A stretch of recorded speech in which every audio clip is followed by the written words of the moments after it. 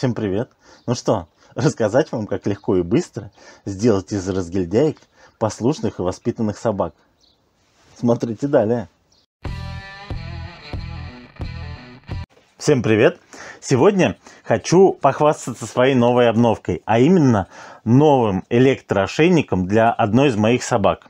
На канале уже есть сравнение дорогого и дешевого электроошейников, где видно, что хорошие вещи дешево стоить не могут. В том видео дорогой ошейник я брал у своих знакомых, а сам я использую самые дешевые китайские ошейники, и за это время у меня их вышло из строя очень-очень много. А у моих знакомых до сих пор работает. Но тут нужно понимать, что все зависит от вашей собаки. Если у вас очень активная собака, которая и в огонь, и в воду, и в трубы, то ошейники в любом случае со временем будут лететь. К сожалению, взять как у знакомых я не решился. Скажу честно, задушила жабка. Но считаю, что нашел золотую середину. По крайней мере, по отзывам. И сегодня мы проверим, прав ли я. Данный ошейник я купил на одном из известных маркетплейсов. Так как заказывать с Китая уже давно нету смысла ни по цене, а и уж тем более не по времени доставки. Если интересно, ссылка на данный ошейник будет в описании. А вы, если вдруг будете заказывать, обязательно в отзыве надавите на совесть продавца и скажите, что я сделал им хорошую рекламу.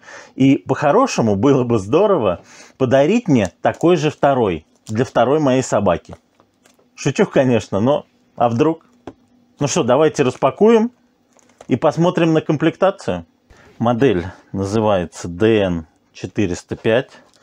Должен отметить приятную упаковку.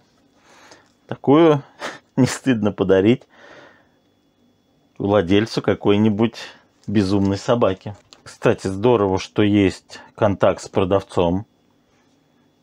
Можно связаться и, возможно, решить какие-то вопросы.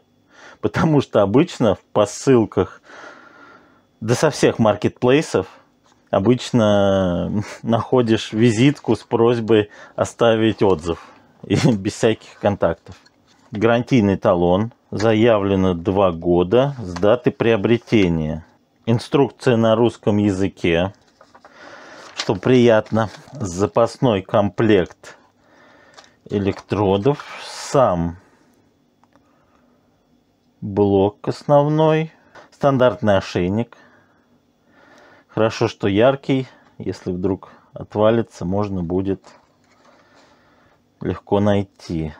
Так, это светодиод для проверки работы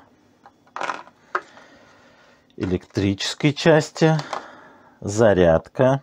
Зарядка двойная, то есть можно будет сразу заряжать и пульт, и блок силиконовый. Приятный ремешок и сам пульт. Так, теперь давайте разберемся с управлением. Включается пульт с боковой кнопки. Это же кнопка переключения между собаками. То есть к этому пульту можно несколько собак подключить. Включается зажатием. Точно так же кнопкой включения включается и блок. Так, провибрировал. Блок сразу привязан. Кнопка изменения параметров работает по зажатию. И, кстати, можно переключать режимы на ней, настройки режимов, что, в принципе, защищает от сбития настроек. Так, вибрация показана 16 разных уровней.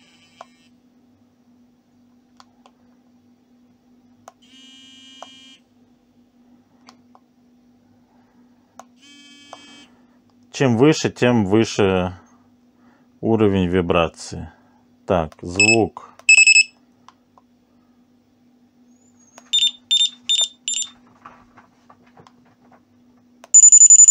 Регулируется мелодия. Я так понимаю, что громкость стандартна. самый высокий уровень какой-то ультразвук. Но нужно проверять на собаке, может это специально подобранный для собак уровень. Это уже проверим на улице. Но первый, вот самый громкий, подсветка. Так, подсветка включается нажатием отдельной кнопки, но не фиксируется. Ну, походу, либо здесь подсветка просто как для поиска собаки в моменте, либо придется читать инструкцию. Так, ток регулируется от 1 до 99. Ощущается. Что-то резкая настройка. Ну да, ощущается. Так. В комплекте идет, как я уже говорил, светодиод для проверки работоспособности. Давайте проверим срабатывание от э, ложного нажатия. То есть в таких ошейниках это обязательное требование. Да, он работает. То есть когда вы случайно сели, например, на кнопку, либо что-то с пультом случилось, там запала кнопка, то блок через какое-то время должен прекратить самостоятельно воздействие. И это здесь есть. Кстати, интересный момент. Это не только светодиод для проверки работоспособности подачи тока. Это еще ключик для замены токопроводящих элементов. В комплекте их э, два вида, удлиненные. Я посмотрел, в принципе, для собаки с любой шерстью это будет достаточно. У меня собаки гладкошерстные, поэтому оставляю маленькие. И также есть силиконовые колпачки. Ну, в целом разобрались. Пойдемте проверять его на деле. Всем привет! Здороваюсь, потому что для вас прошло пару секунд, а для нас прошла неделя с небольшим. И есть уже первые выводы и опыт использования. Про аккумулятору хочу сказать только положительные моменты, потому что разрядить, как мы не пытались, нам не удалось до конца. То есть неделю он проработал, хотя мы пытались его там на всю, и вибрацию, и подсветку включали. Ничего не помогло. По поводу работы светового элемента на ошейнике. А, я так и не разобрался, можно ли его включить на постоянку, но в отличие от дешевого китайского, в этом есть плюс. Потому что, когда нажимаешь на эту кнопку и держишь ее, ты уверен, что светодиод горит.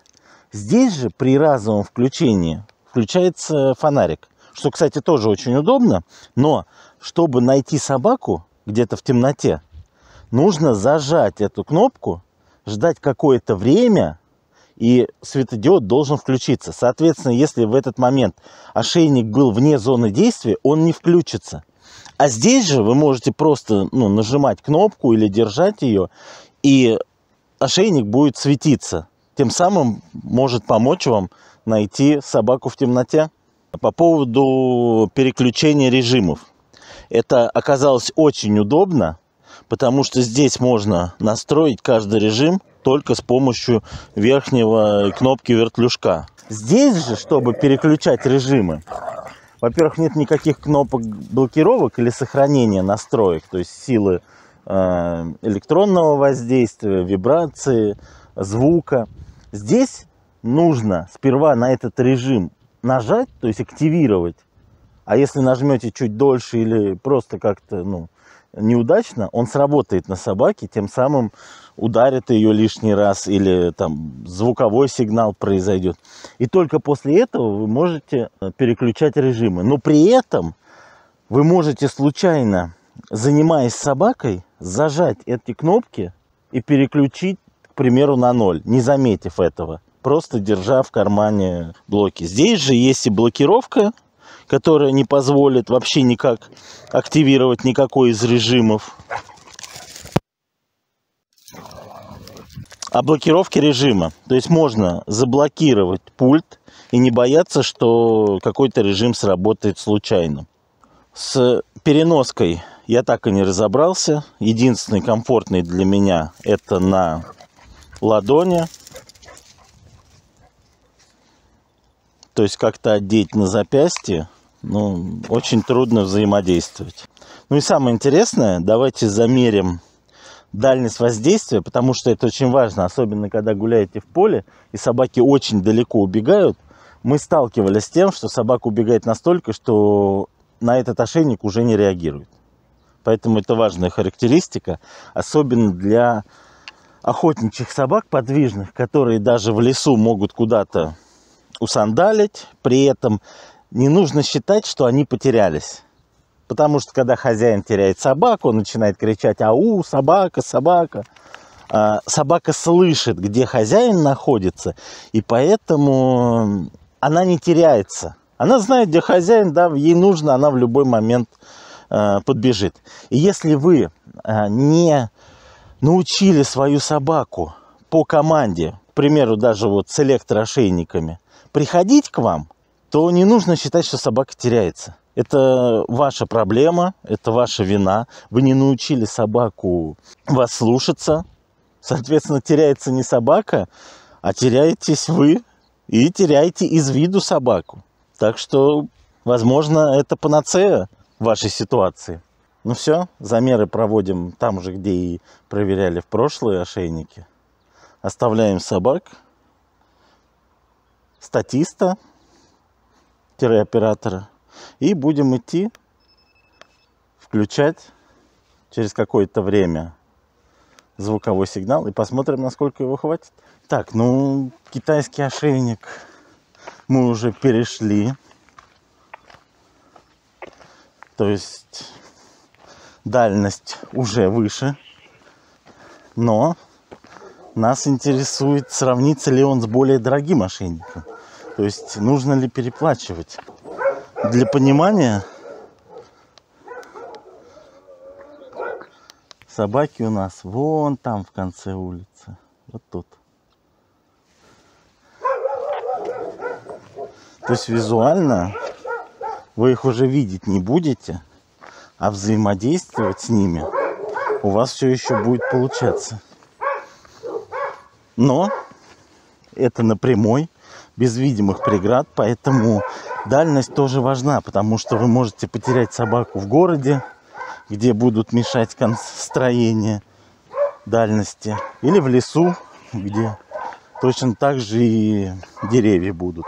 Ну что, мы нашли точку, где пропадает звук. Чисто визуально она такая же, как и у более дорогого ошейника, что не может не радовать за бюджетные по нынешним временам деньги. Собак уже визуально не видно. Попробую показать зумом на камере, но вряд ли что там можно будет разглядеть. Ну, скорее всего, уже под экраном вы видите точную цифру в метрах дальности действия. Пару слов о влагозащите. Она здесь есть. И ошейник работает без проблем. Функцию он выполняет. Все функции а, работают даже когда ошейник погружен в воду.